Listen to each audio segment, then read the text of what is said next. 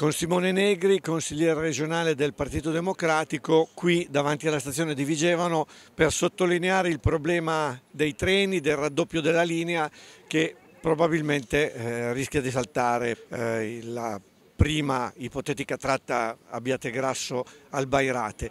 Cosa sta succedendo e cosa si può fare?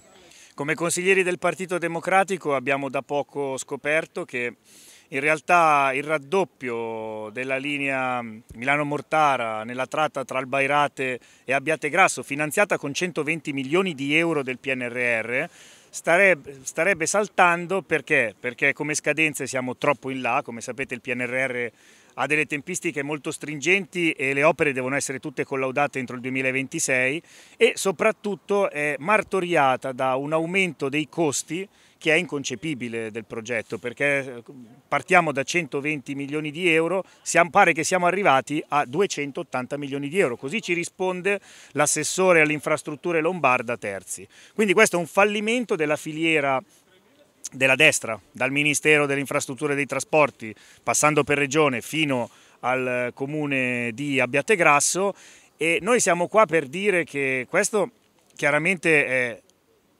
un disastro, ma al contempo noi vogliamo rilanciare con forza l'idea del raddoppio. Noi dobbiamo pensare eh, a una strategia diversa. La proposta che il Partito Democratico avanza è di ripartire da sud, cioè di ricominciare a ragionare del raddoppio per tempi, per, in maniera scalare, cominciando a raddoppiare la tratta intorno a Mortara, Parona.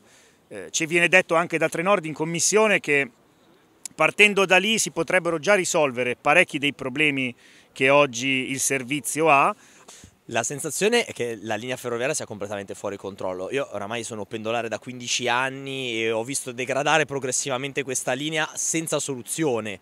Eh, gli ultimi interventi veri che la Regione ha posto in essere sono quelli del 2018 con l'ottenimento dei, dei treni Vivalto, quando tutti assieme maggioranza, opposizione, sindaci della tratta ci recammo in regione all'epoca ad incontrare l'amministratrice delegata Farisè. Eh, la sensazione è che questo territorio sia nettamente un territorio sfavorito rispetto alle altre aree della Lombardia, si predilige mandare i treni a Como, a Lecco, a Brescia, a Bergamo, nelle tratte ricche della Lombardia, dimenticando e mortificando questo territorio. Con Pietro Bussolati, consigliere regionale del Partito Democratico, anche lui questa mattina in eh, stazione a Vigevano per sottolineare il grosso problema della linea Milano-Mortara.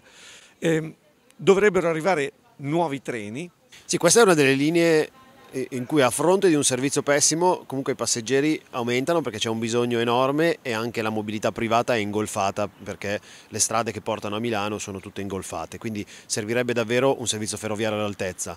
Trenord e la giunta Fontana raccontano che i nuovi treni saranno la panacea di tutti i mali, ma non è così perché i nuovi treni sono sicuramente più moderni, quindi si romperanno meno, quindi avremo meno soppressioni, però sono più piccoli, quindi hanno il problema che hanno meno possibilità di trasportare passeggeri. Quindi non sono la soluzione, per di più hanno dei problemi di manutenzione perché la manutenzione va aggiornata sulle nuove tecnologie, sulle nuove eh, strutture che i treni nuovi portano.